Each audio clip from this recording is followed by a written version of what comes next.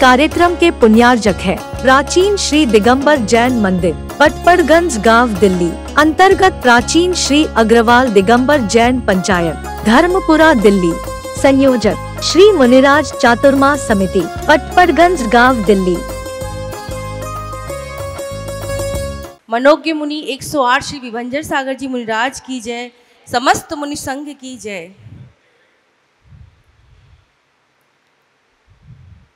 आपने आपको आप में वर लिया।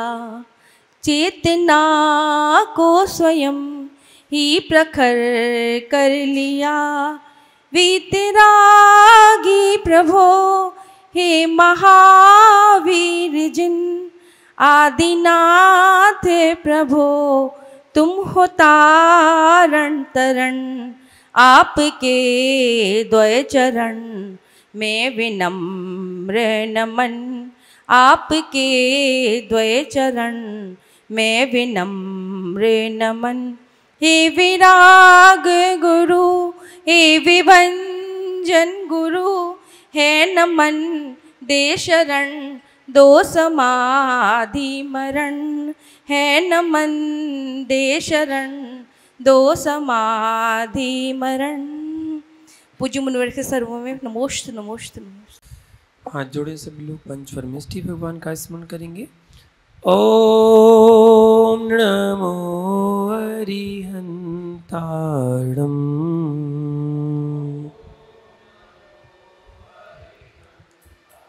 ओम नमो सिरि सिद्धाड़म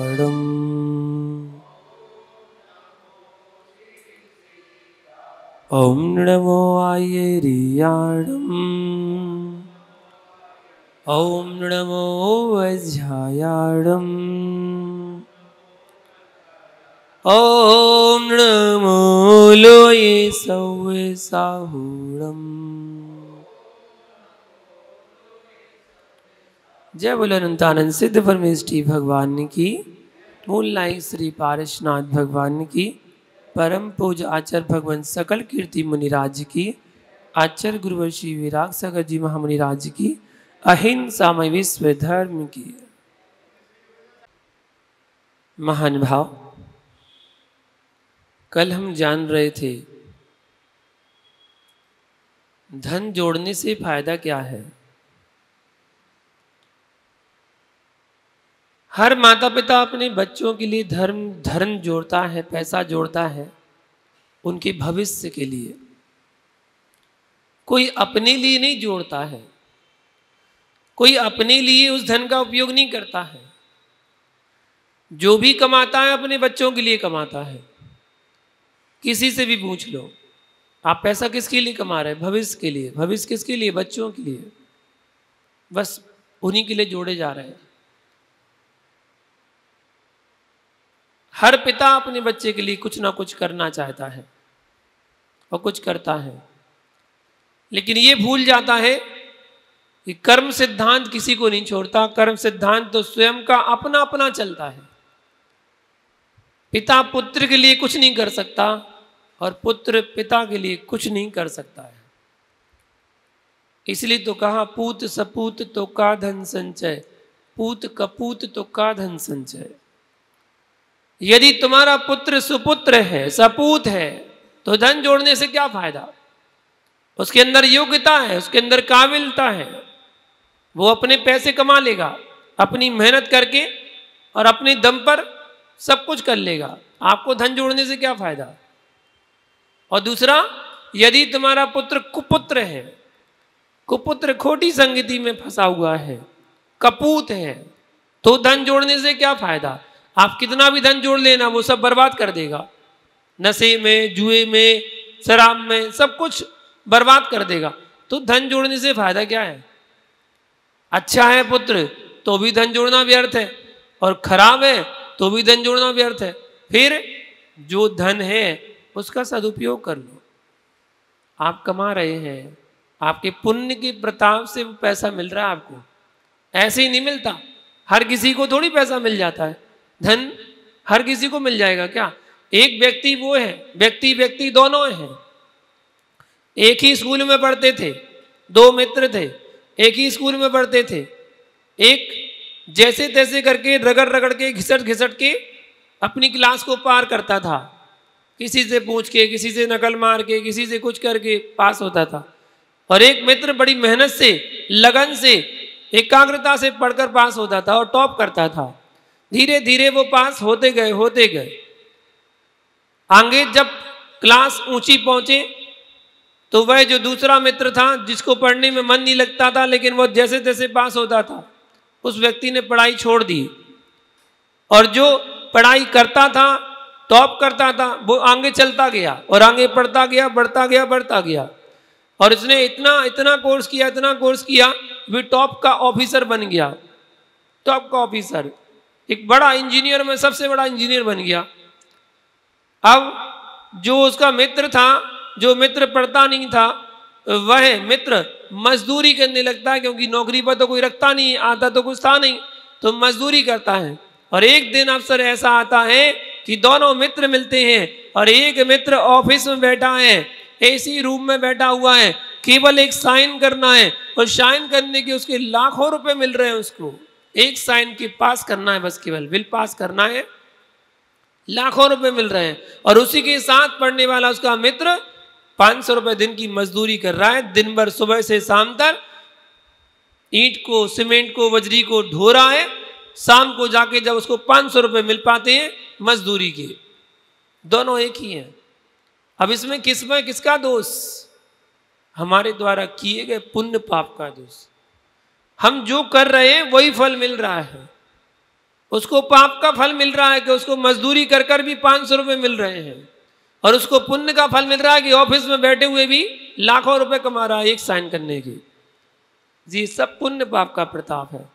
तो जब पुण्य पाप से ही सब कुछ मिलना है, पुण्य पाप से ही मिलना है तो पुण्य पाप ही क्यों ना करें? भाई, जब अच्छे कम, अच्छे कर्मों का फल अच्छा मिलना है और बुरे कर्मों का फल बुरा मिलना है तो सबको पता है कि जो अच्छे काम करेगा तो अच्छा फल मिलेगा बुरे काम करेगा तो बुरा फल मिलेगा। जब सबको ज्ञात है, पता है तो बुरे काम करो ही क्यों? अच्छे काम करो ना। अच्छे फल की प्राप्ति होगी। धर्म, ध्यान, पूजा, पाठ, जाप, स्वाध्याय, ये सब अच्छे काम कहलाते हैं, जिनसे पुण्य की वृद्धि होती है। हम पुण्य की वृद्धि करें अपनी। व्यक्ति परेशान होता है, थोड़ी सी परेशानी आता है, किसके पास भागता है? किसके पास? एक ही एक ही याद आते हैं बस। भगवान। तुम यो हमारे बस, और कोई नहीं आ पहले याद नहीं आती भगवान की? पहले जब परेशानी के पहले बढ़िया आराम से एक व्यक्ति मेरे पास आया, कहता मुनिराज बहुत परेशान है। हमने क्या हो गया? बोले, पाँच लाख रुपए का घाटा लग गया इस महीने। हमने पाँच लाख का घाटा लग गया। बोले हाँ मुनिराज कुछ उपाय बताओ। मैंने बिल्कुल अभी बताता हूँ। तुम एक काम बताओ, पिछले महीने की बैलेंस शीट क्या थी? पिछले महीने की तो बहुत अच्छी थी मुनिराज पिछले महीने तो दस लाख का फ़ायदा हुआ था। मैंने, भाई, एक बात बता, जब दस लाख का फ़ायदा हुआ था, जब तो तू मेरे पास नहीं आया था। कि मुनिराज दस लाख का फ़ायदा हुआ कहीं दान करना हो तो बता दो। तब तो नहीं आया। और जब पाँच लाख का घाटा लग गया तो रोते हुए आ गया। क्यों? दुख में ही भगवान की याद आती है। सुख में भगवान की याद नहीं आती है। दुख में तो हे भगवान हे भगवान हे भगवान, तुम ही हो। और सुख में, कहा भगवान, कैसे भगवान? सुख में कोई याद नहीं करता। आज के पंचम काल की तो यही स्थिति है। पंचम काल की स्थिति ये है कि दुख में भगवान को सभी याद करते हैं। सुख में कोई भगवान को याद नहीं करता। सुख मतलब पंचेंद्री के विषय भोग, सुख। सुख भोग रहा है तो सुख में भगवान की याद आती है, आपको आती है? आपको किसी को आती है? है, मुंडी लाना बहुत आसान है। किसी को नहीं आती। सब झूठी झूठी बोलते हैं, आती है। किसी को नहीं आती। बताऊँ कैसे आती है? आपके घर में बढ़िया पार्टी चल रही है। बच्चे का जन्मदिन है। आपने आस पास मोहल्ला पड़ोस सबको बुलाया है। रिश्तेदार भी आए हैं, मित्र भी आए हैं, सब लोग आए हैं। और बढ़िया आपने सबके लिए खाना बनाया है। अच्छे अच्छे पकवान बने हैं। आपकी थाली में बढ़िया बढ़िया पकवान है। साथ में एक गुलाब जामुन भी रखा हुआ है। और जैसे ही गुलाब जामुन को आप खाते हैं, मुँह में, गुलाब जामुन खाया कभी तो खाते समय कभी कभी बाई चांस एक आध बार बोला आपने, हे भगवान! गुलाब जामुन खाते समय भगवान की याद आई कभी? नहीं आई? क्यों? चाशनी के मज़े ले रहे हैं। रसना इंद्री के भोग भोग रहे हैं। जब रसना इंद्री के सुख भोगेंगे ना, कहाँ भगवान की याद आ रही? फिर कोई भगवान की याद नहीं आ रही। और हाँ यदि वो गुलाब जामुन गर्म होता तो? अब बताओ। आता कि नहीं भगवान का नाम? अगर गरम गरम गुलाब जामुन होता और मुँह में जैसे ही जाता ना जीप जल गई, आ, भगवान, अब भगवान मतलब दुख मिला सो भगवान, और चांसनी का स्वाद आ रहा था सो भगवान की याद नहीं आ रही थी। कमाल है। मंदिर आ रहे थे, नंगे पैर आ रहे थे, इतना सा छोटा सा पैर में कांटा चुप गया, क्या बोलते हो? हे भगवान, इतना सा कांटा गया, सो ये भगवान, और इतना बड़ा गुलाब जामुन मुँह में गया, सो भगवान की याद नहीं आई। कमाल है। एक छोटे से नन्हे से कांटे से दुख मिल गया। इसलिए कवि ने क्या कहा? कवि ने कहा दुख में सुमरन सब करे, सुख में करे न कोई और जो सुख में सुमरन करे, दुख का ही को होए। कोई करता ही नहीं है इसलिए तो कभी को लिखना पड़ा यार। कभी को इसलिए तो लिखना पड़ा। कोई नहीं करता। दुख में, सुख में समता भाव धारण करके जो प्रभु को, भगवान को स्मरण करता है, उसके लिए कभी दुख होता ही नहीं है। आपको पता, ज्ञानी व्यक्ति को दुख नहीं होता। जो ज्ञानी व्यक्ति होते ना, उनको दुख होता ही नहीं है। आप कहोगे, ऐसा कैसे संभव है? बिल्कुल नहीं होता। बताऊँ क्यों? इसलिए नहीं होता है क्योंकि ज्ञानी व्यक्ति दुख में से भी सुख निकालने की कला जानता है। यदि उसको दुख भी मिलेगा ना तो उसमें से भी वो सुख निकाल लेगा। अच्छा है। वो तो सीधा सीधा सूत्र बोलता है, जो हो चुका अच्छा हुआ। जो हो रहा है अच्छा हो रहा है। जो आगे होगा अच्छा होगा। किसकी सोच है ये? ज्ञानी की सोच है। इसलिए जीवन में दुख भी आया ना, वो दुख में से सुख निकाल लेता है। मैं उदाहरण दिया था ना मंदिर से जा रहा था और एक्सीडेंट हो गया, गाड़ी ने मार दिया, ठोकर, पैर में फ्रैक्चर आ गया, एडमिट कर दिया हॉस्पिटल में। अज्ञानी क्या कहेगा? देख ले, मंदिर गया था, क्या कर लिया तुम्हें भगवान ने? पैर और टूट गया। मंदिर जाने का परिणाम देख ले, फल देख ले, पैर टूट गया। कौन कह रहा है? अज्ञानी। ज्ञानी क्या कहेगा? देख भाई, मंदिर गया था, उस मंदिर का फल देख, पैर में बच गया, आज तेरी जान चली जाती तो। एक्सीडेंट हुआ था ऐसा एक्सीडेंट हुआ था, जान चली जाती तो भगवान के दर्शन करके आ रहा था, इसलिए पैर में टल गया। पैर ही तो टूटा, वो तो ठीक हो जाएगा। किसकी पहचान? ज्ञानी। दुख मिला ना, दुख में से उसने क्या निकाल लिया? सुख निकाल लिया। यही तो ज्ञानी की पहचान है। इसलिए उसको दुख होता ही नहीं है। दुख भी आएगा तो सुख निकाल लेगा और आधा गिलास पानी पीने मिला उसे। अज्ञानी क्या कहेगा? आधा गिलास खाली है आधा गिलास खाली है और ज्ञानी क्या कहेगा? आधा गिलास भरा है। दोनों की बात सच है कि झूठ है? क्या है? दोनों की सच है। दोनों की बात सच है, अज्ञानी कह रहा है, आधा गिलास खाली है और ज्ञानी कहता आधा गिलास भरा है। बात तो दोनों की सही है, लेकिन एक पॉजिटिव सोच रहा आधा गिलास भरा है। कुछ नहीं से कुछ तो अच्छा ना मिलने से कुछ तो मिला। कुछ तो मिला, ये कौन? ज्ञानी सोच सकता है। ज्ञानी कहता है। ज्ञानी हमेशा अपने से नीचे को देखता है और अज्ञानी हमेशा अपने से ऊपर को देखता है। जो व्यक्ति अपने से ऊपर वाले को देखता है, वो दुखी होता है। जो अपने से नीचे वाले को देखता है, वो सुखी होता है। बिल्कुल, आप अपने से ऊँचे वाले को देखोगे ना, अपने आप में हीन भावना लाओगे, अरे, इसके पास देखो मर्सिडीज गाड़ी है, मेरे पास तो स्कूटर है। इसके पास देखो, बंगला है, बंगला। मेरे पास तो केवल एक मंजिल का मकान है, कुछ है ही नहीं यहाँ, मेरे घर में। इससे देखो क्या आलीशान वैभव के साथ रहता है, मेरे पास कुछ है ही नहीं है ऊपर वाले को देखोगे तो क्या होगा? दुख होगा, और नीचे वाले को देखोगे, सुख होगा। अरे, मेरे पास स्कूटर है, इसके पास तो साइकिल है, इससे तो अच्छा हूँ। मैं तो अपने खुद के मकान में रहता हूँ, ये तो किराए से रहता है, इससे तो अच्छा हूँ। ये तो दूसरे की नौकरी कर रहा है, मेरा खुद का बिज़नेस है। मैं खुद का अपना व्यापार तो कर रहा हूँ, भले ही दो सौ पाँच सौ रुपये कमा रहा हूँ, लेकिन खुद का तो है। बस सुखी रहेगा। तो अपने से नीचे देखने वाला हमेशा खुशी रहेगा कि ठीक है, जो है जितना है, क्योंकि उसे तसल्ली है कि जो मिला जितना मिला, मेरे भाग्य से तो मिला है। जो मिला जितना मिला, मेरे ही भाग्य से तो मिला मैंने जैसे कर्म किए थे, उसी का तो परिणाम है। उसी का तो फल मुझे प्राप्त हुआ है। अब मैं उसको किस, किसको मैं दोष दूँ? कि तुमने मेरे साथ ठीक नहीं किया। तुमने मेरे साथ ठीक नहीं किया, मैं किसको दोष दूँ? क्योंकि मेरे ही परिणाम है, मेरे ही किए कर्म है, उनका ही तो फल भोग रहा हूँ। इसलिए आचार्य भगवान ने इतनी अच्छी बात बोली है। उन्होंने कहा, हर स्थिति में धन जोड़ना व्यर्थ है, निरर्थक है।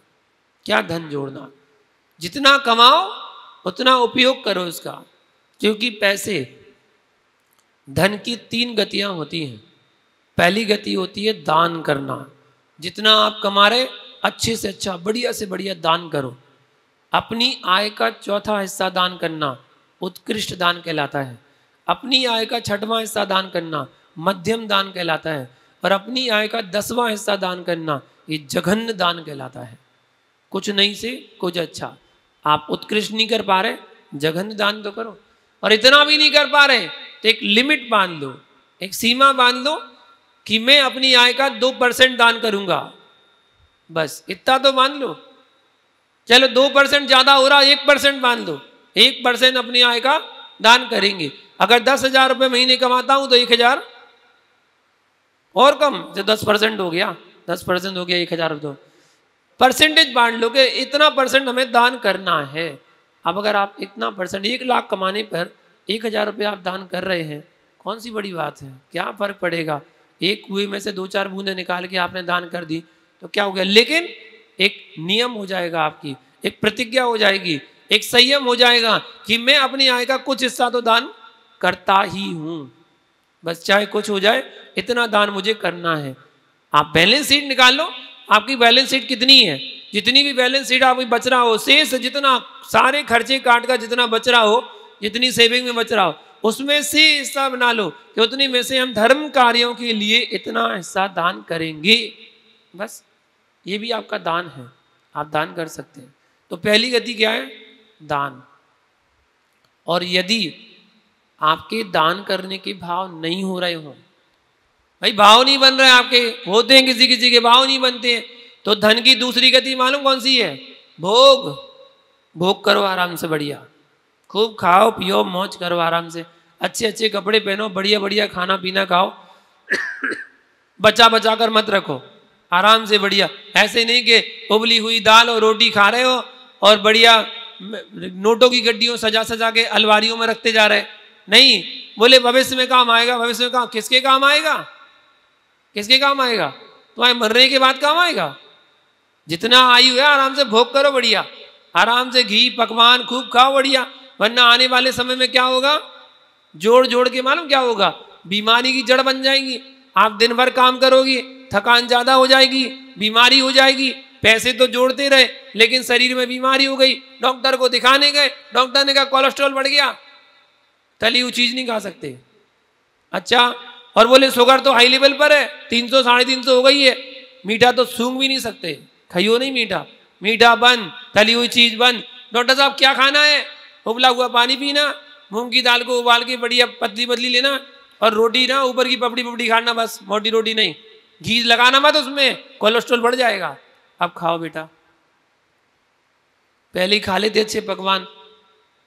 अच्छे टाइम निकाल के पहले पकवान खा लेते, व्यापार तो चलता रहता। पहले शरीर का ध्यान रख लेते। शरीर का ध्यान रखा नहीं। शरीर का ध्यान रखा नहीं।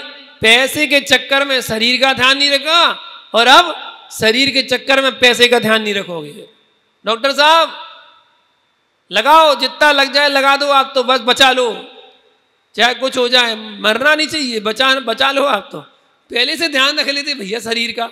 कम से कम पैसा तो नहीं बहाना पड़ता। अब पैसे के पैसे बाहर है शरीर का शरीर तोड़ दिया। अच्छे से ध्यान रखो। भोग करो बढ़िया, अच्छे से। पंच इंद्री के विषय भोग।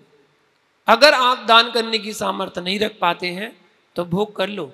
बढ़िया से उसका उपयोग कर लो धन का। और यदि नहीं कर पाए तो तीसरी गति। पहली दान, दूसरी भोग और तीसरी नष्ट। नष्ट तो होनी होनी है। क्या लेके जाओगे? कहाँ लेके जाओगे? शरीर पे एक धागा तो लेके नहीं जाओगे। धन की तो दूर की बात। पैसा कहाँ लेके जाओगे? कहीं लेके नहीं जाते। इतने लोभी लोग हुए, इतने लोभी लोग हुए कि जिन्होंने धन जोड़ जोड़ के, जोड़ जोड़ के, पता नहीं कहाँ कहाँ रखा था। स्विच बैंकों में करोड़ों अरबों रुपए जोड़ के रखा था। किसी को बताया नहीं, मर गया, हार्ट अटैक में अचानक। रात को सोया था सबसे बात करके और रात में साइलेंट अटैक आ गया, मर गया, सुबह उठा ही नहीं। पैसा कहाँ गया? किसी को पता ही नहीं है ना स्विच बैंक में पैसा रखा है, वो तो गया। सरकार, वहाँ की सरकार के पास जाएगा ना, आपको तो मिलेगा नहीं। कहीं नहीं मिलने वाला, गया। नष्ट हो गया, खत्म हो गया। किसी ने सीलिंग में छुपा दिए ऊपर सीलिंग करवा देना। सीलिंग करवा देना। उसमें छुपा दी, गड्डी गड्डी, बिल्कुल। ठीक है? मर गया। खंडर हो गया मकान। जब खंडर हो गया गिरा तो नोटों की गड्डियाँ गिरी, लेकिन गड्डियाँ तो गिरी, उनमें दीमक लगे मिले। सब में दीमक खा गए पूरे नोट। तुमने तो खाया नहीं, दीमक ने खा लिया, सारा पैसा खा लिया। किसी ने ज़मीन के अंदर गाड़ दिए, किसी ने अभी तो भैया बाथरूम की टाल्स में निकले थे। बाथरूम की टाल्स के अंदर 2016 में ना, जब मोदी जी ने नोट बंद कराए थे ना तो 2016 में खोद खोद के निकाले थे लोगों ने। कि निकालो भैया, निकालो चेंज करेंगे बंदा, नाली में फेंकेंगे फिर। ऐसे ही हुआ था। कुछ नहीं है काम का। इसलिए अच्छे से दान करो। कम से कम दान करोगे, पुण्य तो मिलेगा, और वो पुण्य आपको अगली पर्याय में काम आएगा। आज आपने जैन कुल में जन्म लिया है। कैसे जन्म लिया? ऐसे ही ले लिया क्या? ऐसे ही नहीं ले लिया।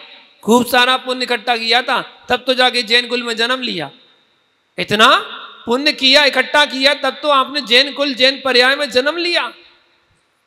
आपका सौभाग्य देखिए, जैन कुल में जन्म लेके सम्मान्य परिवार में जन्म लिया, जहाँ आराम से अपनी सम्मान लिया जाता है, सम्मान के साथ आपका नाम लिया जाता है, और पुण्य कमाया मंदिर के पास आपका घर मिल गया, और पुण्य कमाया, दर्शन करने का सौभाग्य मिल रहा है, सर्वांग शरीर मिला है, और पुण्य इकट्ठा किया था। जो श्री जी को अपने हाथों में उठाने का अवसर मिला, इतना बड़ा पुण्य आपने एकत्रित किया था। छोटी मोटी बात नहीं है, जिनेन्द्र भगवान तीन लोग के नाथ को आपने अपने हाथों से उठाया, और अपने हाथों से भगवान का मार्जन किया, प्रक्षाल किया, कितना पुण्य एकत्रित किया होगा आपने, ये आपका पुण्य है। इसलिए महानुभाव, पुण्य कभी बेकार नहीं जाता। आप जिस पर्याय में जहाँ जहाँ आपने पुण्य किया होगा, वो पुण्य आपका बेकार कभी नहीं जाता। आपको उसका फल ज़रूर मिलता है। कैसे? आपको मेढक की कहानी याद है? वो मेढक बावड़ी से जा रहा था, वो हाथी का पैर के नीचे आया। सबको याद है ना? रटी पड़ी है सबको। आपको उसकी पूर्व पर्याय पता है क्या है? मेढक की पूर्व पर्याय। मेढक की पूर्व पर्याय में वो एक सेठ था। और वह सेठ बहुत धर्मात्मा था। जीवन पर्यंत उसने धर्म किया, बहुत धर्म करता था। लेकिन सामायिक तो बड़ी तल्लीनता के साथ करता था। एक बार उसने प्रतिज्ञा कर ली। क्या? एक दीपक जलाया और प्रतिज्ञा कर ली, जब तक ये दीपक जलेगा, तब तक मैं सामायिक करूँगा। बस बैठ गया, आँख बंद करके। एक अंदाज होता है कि इतनी देर में ये दीपक का तेल घी खत्म हो जाएगा। तो वो बैठ गया सामायिक करने।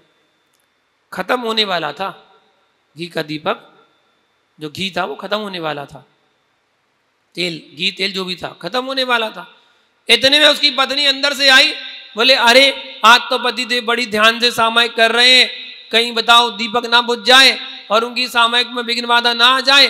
अंदर जाती है, घी तेल लाती है और दीपक को पूरा भर देती है, फिर से भर देती है। फिर से पूरा भर गया। अब सेठ जी ने जैसी आँखें खोली, उनने कहा, दीपक तो चौंकते हो अभी? दीपक तो जल रहा है। उनकी प्रतिज्ञा थी, जब तक दीपक जलेगा, तब तक सामायिक करेंगे। उन्होंने फिर आँखें बंद कर ली और फिर से सामायिक करने लगे। फिर उन्होंने एक घंटा, डेढ़ घंटा जो भी सामायिक की, घी खत्म होने वाला था। इतने पत्नी फिर आई, बोले, अरे, आज तो लगता है बहुत लंबे स्थान पे हैं और ध्यान में विघ्न बाधा ना आ जाए। चलो, दीपक में तेल डाल देते हैं। उसने ला के फिर से तेल डाल दिया। वो फिर से दीपक भर गया। सेठ जी की ध्यान खुला, आँख खुली, देखा उन्होंने दीपक झोंकते हुए फिर भी अब बैठे बैठे कंठ सूख गया था बिल्कुल। इतनी ज़्यादा कंठ सूख गया कि उन्हें बहुत ज़ोर की प्यास लग रही थी। ठीक है? आप होते तो क्या करते सच बताना, ईमानदारी से। हम बताएँ क्या करते? प्रतिज्ञा थी ना? प्रतिज्ञा थी दीपक जलता रहेगा तो तब सामयिक करेंगे। अब बोले, क्या करें? से या तो हाथ हिला देता, या फूंक मार देता। सेठ जी ने ऐसा नहीं किया। सेठ जी तो बैठ गए फिर से सामायिक करने। लेकिन इतने आकुल व्याकुल परिणाम हो गए, आकुल व्याकुल परिणाम, प्यास के कारण कि अंदर से तड़पन होने लगी कि पानी की बूंद ना मिल रही थी। उसी समय उनके आयु कर्म के निषेक समाप्त हो गए। और उसी समय उनकी आयु कर्म का बंद हुआ। अगली पर्याय का पानी के कारण उनकी मरण की प्राप्ति हुई। उन्होंने अंत समय में संकलेश परिणाम कर लिए। तो संकलेश परिणाम के समय पर जो आयु कर्म का बंद हुआ, वो त्रियंज गति का बंद हो गया। अपनी ही बावड़ी में वो जीव मेढक बनकर जन्म ले लिया। उस जीव ने मेढक बनकर जन्म लिया, उसने त्रियंज पर्याय में चला गया। लेकिन जीवन भर जो पूर्व पर्याय में पुण्य इकट्ठा किया था, बेकार नहीं गया। बेकार नहीं गया।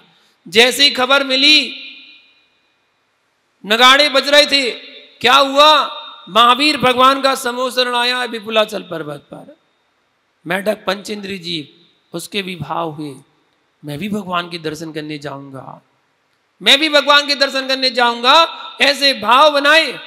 ओ भैया भाव बनाए तो अपने घर से निकला भगवान के दर्शन करने के लिए। कैसे निकला? कैसे निकला? मुँह में पंखड़ी दबा के। क्यों भैया? कमल क्यों नहीं उठा पाया?